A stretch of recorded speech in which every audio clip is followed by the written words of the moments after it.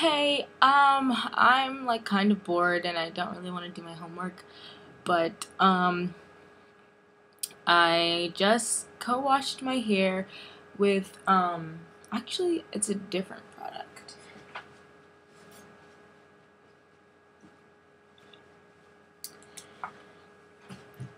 It is this VO5 Moisture Milk, and it's supposed to be a moisturizing conditioner um, and it's in the scent passion fruit smoothie with soy milk proteins. And um, I just did a, a co-wash with that and detangled, and that took a long time because I was really careful with everything and you know finger combed and then went through it with a wide tooth comb.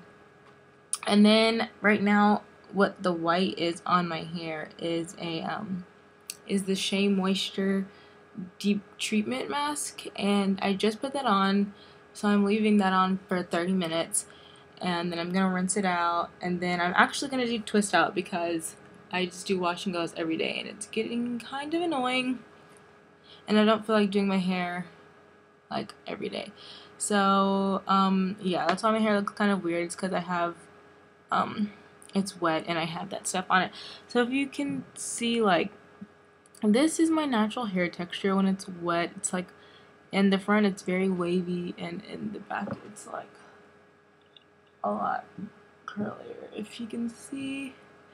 Anyway, um yep, so I just kind of wanted to I guess it's kind of like a vlog kind of, but not really.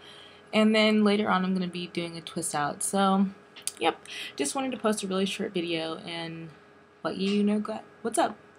Bye.